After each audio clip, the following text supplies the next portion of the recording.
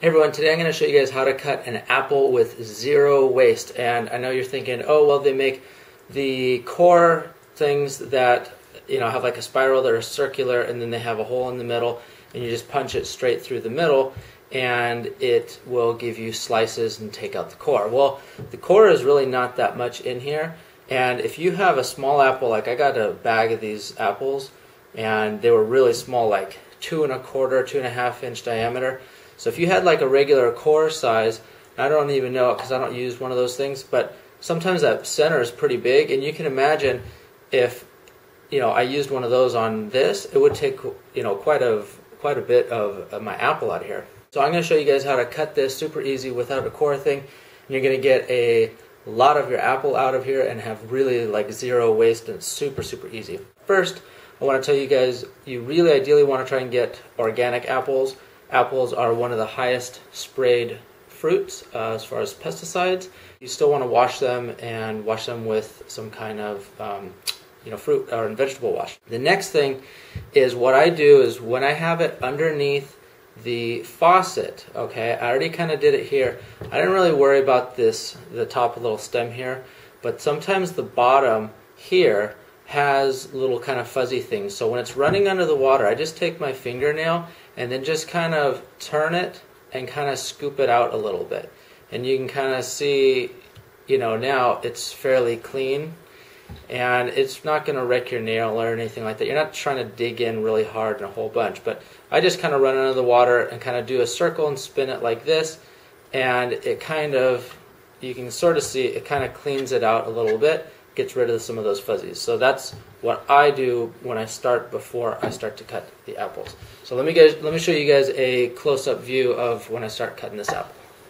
Okay, so the big thing is you want to have the right size knife or, or so for your apple. So for example, these are smaller apples. This is a pretty good size knife for these apples. So first thing, I'm going to take this knife, I'm going to go straight down the middle with it and cut it in half. Okay? So now we have it in two halves. Now what you can do is you can take it and then you're going to cut it in half again. So now basically it's into quarters. And either way, you can, you know, you can cut it this way if it's easier, or if you just want to hold it and cut it like this, you can do it that way. Now we have it into four pieces here. So now we have the inside of the core right here.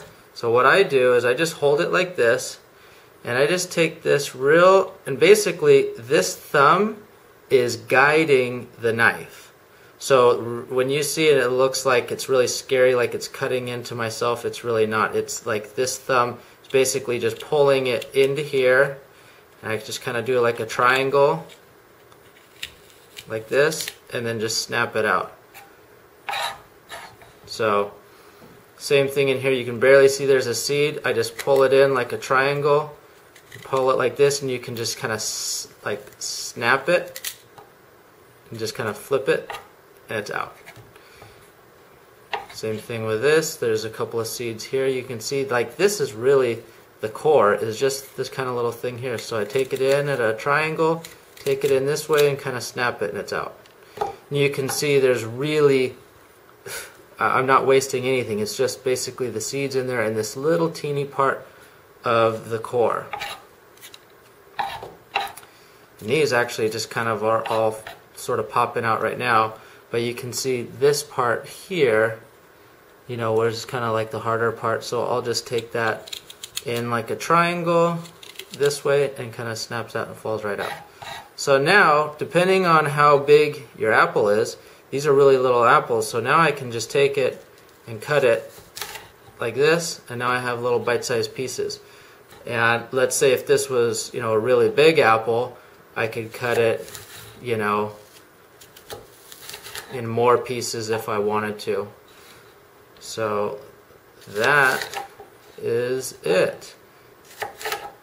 And I don't mind this little area right here, you know, but if for some reason, you know, you or your kids don't like this little edge, you can hold it on edge and just cut that off if you wanted to. I don't really care about it, so I'll eat it. But you can see how easy that is. So now you can see all that's really there's no waste. There's just seeds and that teeny little bit of the core. Okay, so that's about it. Just remember, like I said, cutting this way is not going to be dangerous at all. You're just using your thumb to basically move it so that it is safe. Just use the right length of knife. You know, like, like I said, this is a perfect size knife for this size of an apple. So just be careful, um, but it should be no big deal. Cut them up into whatever sizes that you want.